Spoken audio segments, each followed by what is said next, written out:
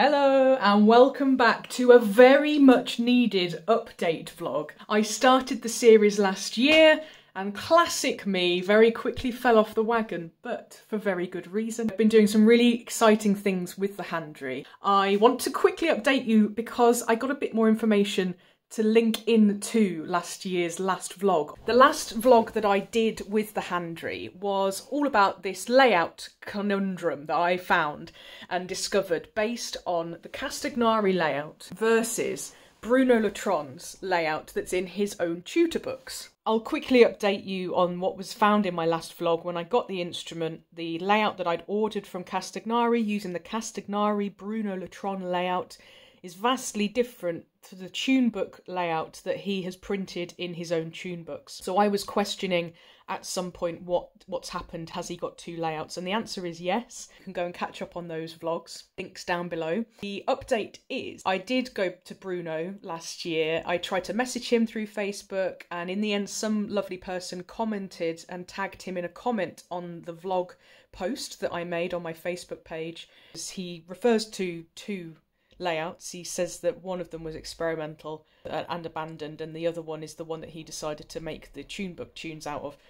I think if you're going to make four tune books of your material, you'd be doing that out of the non experimental layout, right? So I think the layout that's in his tune books is the layout that he currently plays on. Um, and the experimental layout that he abandoned is the Didier Laloy slash Bruno Le Tron Castagnari layout, the one that is on the Castagnari website. It's very, very similar to the Heim layout. There are just a couple of tiny tweaks, and it could be that he experimented by making those tiny tweaks and then decided to abandon it because he massively changed it and went for the layout that is in his tune books. So that kind of puts my mind at ease, and anybody else who was a bit curious. I've had a few messages and emails over the last year from people who want to get the Bruno Le Tron layout and um, I were a bit confused about which version to go for. For me, I stuck with the Castagnari version, the version that's on the Castagnari website, the version that Didier Laloy plays, the version that um, Toon van Mierlo plays. I'm very, very happy with it. So that's me satisfied on the layout stuff. Now to tell you about all the exciting things we've been up to over the last year. So in case you've missed it on all of my social media platforms, for the last year I have been involved with Fisherman's Friends the musical, a wonderful piece of UK commercial theatre touring around the UK and Canada. It was incredibly exciting to be offered an opportunity to job share the melodeon player role with Hazel Askew and be part of an original cast recording and all sorts of insanely crazy, wonderful things that have happened over the last year. I didn't have time to carry on doing what I'd planned to do, which was learn how to use that instrument in my own way, kind of, you know, learning tunes, going to workshops, etc., etc. I couldn't do that because I was busy in rehearsals and busy touring the country, going to different theatres and performing with 23 other people on stage. Honestly, absolutely phenomenal that I even got the opportunity to do it. But the fact that I had tooled myself up with this brand new wonderful instrument, which was absolutely perfect for certain songs and tunes within the show. Could not be more happy. Here it is. It's now just over a year old and it's got picked up a few battle scars along the way. Theatre is a very active job it's a bit of a martial art in places, um, and unfortunately, the instrument has got a few kind of war wounds from that, but nothing that bothers me. I think instruments in my life are here to work. I'm a professional musician, they have a job to do, and unfortunately, sometimes, despite my best efforts, they pick up a few battle scars. I had to put Velcro on it. I really didn't want to because of where the mic packs needed to be situated and the fact that there were four melodeons in the show, I had to quickly move mic packs around. So I had to have Velcro on all of my instruments, which is something I've never ever wanted to do. I've actively avoided that my entire life because they're beautiful. So much work goes into making them that then just to shove some Velcro on them just feels incredibly wrong, in my opinion. But as I say, I had to succumb to that. The job needed doing, and it needed doing in the way that made most sense. When I came to do the London rehearsals with this back in July last year,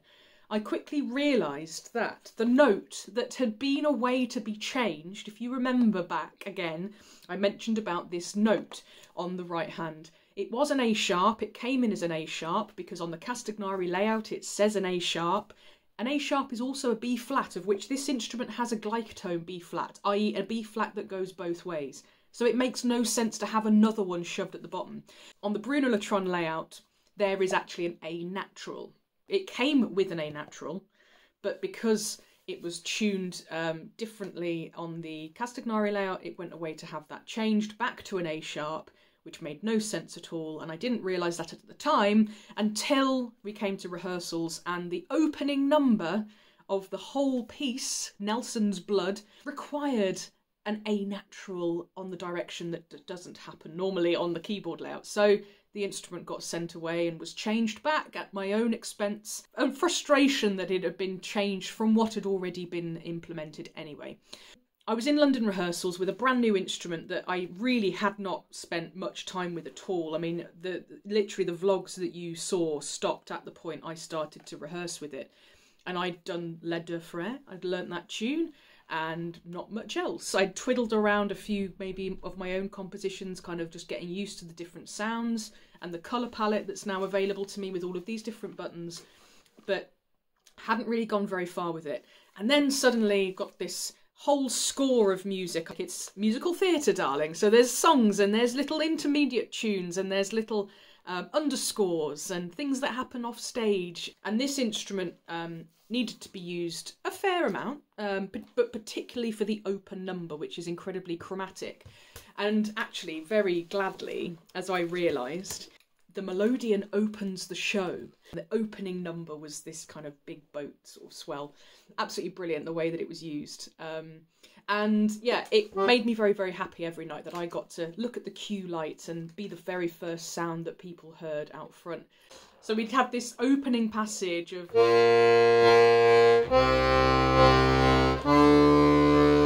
And that would go on. Nice big fat drone.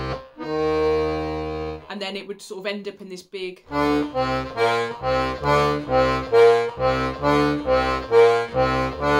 up. And then you'd end up with this.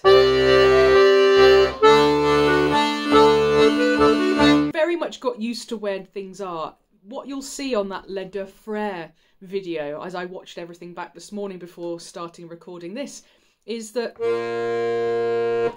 I really was hanging on for dear life on this left hand, whereas now it feels familiar. I feel like, oh, I'm at one, I can control the air very efficiently, whereas that was all quite new to me. Eh, a bigger instrument, it needed more wrestling at the time, whereas now it doesn't feel so humongous. It feels very much within my capability.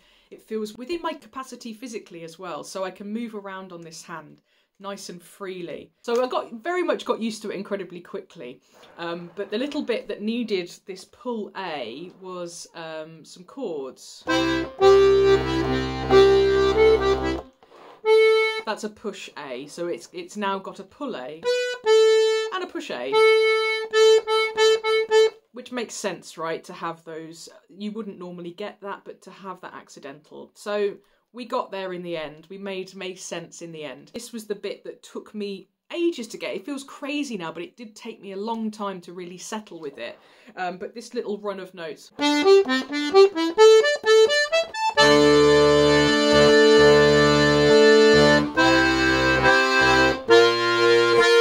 This particular instrument popped up occasionally throughout the, the whole show with three other of my instruments. So the whole show is played across on diatonic boxes. This big 18 bass, which in my case is a GC, but when Hazel was on, she was playing her DG 18 three row. I played a DG box, I played my CF and a B flat E flat. And between all four instruments, the show was able to happen. The Melodeon part is mainly just rhythmical chugs, driving chugs, but it's there pr- pretty much the whole show. There's a lot driven by the Melodeon track. Um, lots of pieces are started by the Melodeon. There are several underscores that are started by the Melodeon. You know, when I was on stage, when it was my turn to be on, it really did feel, um, well, the collective feeling of it all and the way that the instrument track flowed around. It was a nightmare to learn because, you know, for me, I I had more limited rehearsal time than other other players. Hazel was the first one to go on and open the show, So her time was prioritized completely understandably. But she'd done the R&D in 2021 so she knew the show already even though it had changed drastically. And I had to come in and, and learn it from scratch. And that was really difficult for me initially. It was probably the hardest most stressful job I've ever had but I must say it's been the most rewarding and the people I've met along the way have been incredible. I got to do some really amazing things that, you know, to think about from, you know, the outside and for people that have been and seen it, my students and friends, my family that have come to see it, they just can't believe that I'm singing, I'm dancing, and I'm playing the instrument all at the same time. So there's a lot of activity during the show. Uh, at one point, I get to stand on the fishing boat and be moved around the set, which was quite incredible. Lots of stepping up onto fishing crates, coming downstairs, um, lots of dancing whilst playing and I really got to understand the world of the way the theatre worked and meet some incredible actor musicians along the way. I am now an actor musician. I can add that feather to my cap. The things that I've been able to achieve and learn along the way. My love of theatre really is what I think enabled me to get on with the job. I, I was expected just to get on and make it make sense, and luckily was given all of the encouragement to go and make that make sense. One of the other cool bits of the show that I got to do on this instrument was the BBC Spotlight theme. The BBC like news theme is a bit of a vibe. Uh, as a band of musicians had to work out how to make that happen. And luckily for the Melodeon, we got the the funky bass part.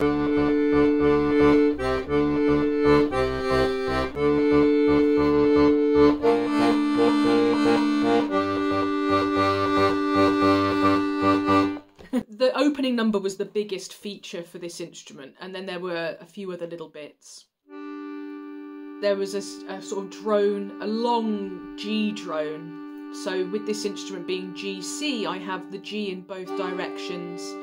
So I was able to make that little bit work. And then out of the drone, we go into um, a song as the band, just to do a little scene change transition. So I was able just to kind of have this.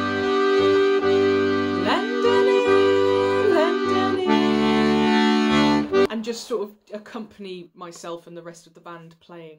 It essentially at times acted as a melodeon, it at times acted like a bass guitar, it essentially acted as a, a normal guitar, a kind of six string. Um, so it was very much part of that um, backing line uh, along with the drum kit and the, the rhythmical section. But it did take melody as well. So yeah, for a Handry update, there's been a lot more to update you on. The Handry got a job and it did very well at its job and it's worked really hard this year. I am grateful for this opportunity to have just got me stuck in learning it and doing a completely different job I wasn't anticipating doing. What's up for us next? This will be going away for a service soon now that it is a year old.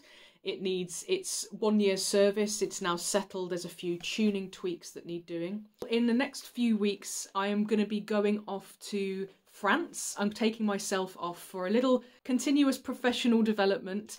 I'm going to be doing a workshop out there as a student with this instrument. I'm only taking this instrument, so it's going to force me to get stuck in, get to grips with it a lot more on the right hand melodically. Then I'm going to be doing some festivals out there as well as a dancer and musician, just chilling out, having a bit of a holiday, but making it productive at the same time, learning more to do with this instrument, this layout, this style that I'm falling in head over heels in love with. The whole reason I got this instrument was to have this dream of travelling around France, stopping off in beautiful locations, meeting up with local musicians and having chance to play with them and that's what's going to be happening now this summer. I can't wait to get to know my baby even more and start to use it um, not for the purpose of a job but just to fall in love with it and really get to know it on a deeper level. If you'd like to see more on that journey, I probably will be vlogging but let me know down below if there anything specific that you want to see um, in that vlog. So, you know, do you want to see me kind of struggling to learn it? Do you want to see me just doing the flashy stuff? Do you just want to see me traveling around having a nice time? Do you want to see all of that? Um, you know, anything particular, any places that I should visit along the way? Let me know what you want to see down below in that vlog and I will do another update very, very soon where I will not be in my house. I will be out and about in the gorgeous French countryside. I can't wait. Hi guys, future Melda stepping in here. Whilst I've been editing this vlog, I realised there was way too much footage uh, to fit into one um, episode. So there's going to be a part two. I've kept this one to all about the handry and keep an eye out for a general working in theatre as a folk musician melodeon player in the UK and in Toronto in Canada um, because there's a lot more stuff that I wanted to cover um, but as I say couldn't fit it in back to the scheduled viewing. Thanks very much for watching guys. Don't forget to like, comment and subscribe. Take care and I hope you're getting on with your instrument as well. And if not, I do a lot of teaching online, so do check out the links in the description. There's loads and loads of resources on my Patreon and on my online Melodeon classes and my online courses. So do check out the link in my description and hopefully I'll get to see you online shortly. I've had a wonderful time on my Fisherman's Friends tour with my trusty Handry and all of the other Castagnari instruments and the lovely Hohners that I get to play. If you were able to see the show, leave me a comment down below. Let me know where you saw it. Let me know which, which Melodeon player was on. Was it me? Was it Hazel? Hopefully I get to do that a lot more. Fingers crossed, watch this space. Bye!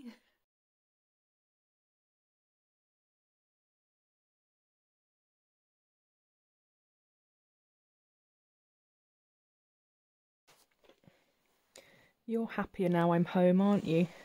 Now that I'm not touring around everywhere. Eh?